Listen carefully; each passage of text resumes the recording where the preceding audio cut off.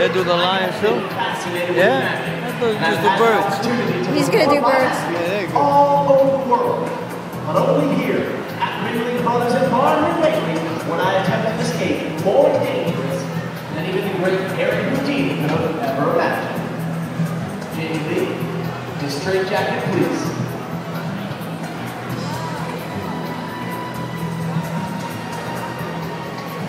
Jamie Lee knows that I've always wanted to attempt while suspended upside down.